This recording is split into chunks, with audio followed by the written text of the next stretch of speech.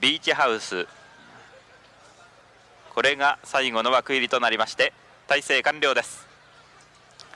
スタートしました。まっすぐスタンド前に出てまいりますがメジロパーマー好スタートを切りました。例によってどうやら先行策であります。まっすぐスタンド前そして2番手には1枠の2頭白い帽子が2頭エレクトロアートユニオンリーダーが出ていきました。そして4番手には2馬身差でナイボールフェ。その後のグループはまだ横一線になっていますがバリモススキーあるいはインコースからウィーナーズゴールド。その外からどーっと4頭ぐらい一線になりました。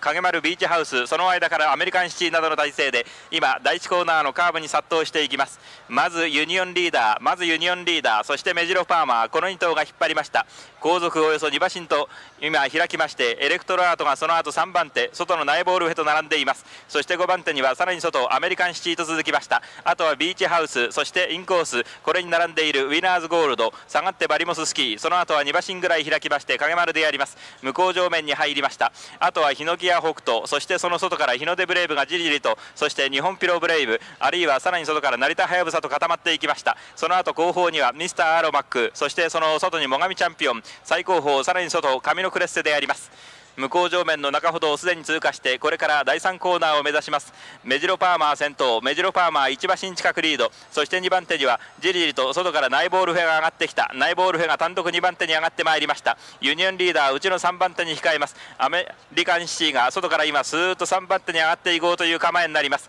34コーナー中間ウィナーズゴールドと並んでアメリカンシティが上がってまいりました。今好位グループにまさに取り付いて第4コーナーのカーブその2馬身後ろバリモススキー以下がほぼ固まりまして400を切りました。今中段後方寄りからスーッと1頭上がってまいりました。ミスターアロマックあたり第4コーナーのカーブから直線に入りました。さあメジロパーマー51キロラストスパートに入りました。2馬身のリード今200を切りました。そして2番手にはナイボールフェそしてさらに外からウィナーズゴールドが懸命に接近してまいりました。あとは間をついてモガミチャンピオン大外からカミノクレッセとそれからミスターアロマック先頭はメジロパーマー逃げ切ったゴールイン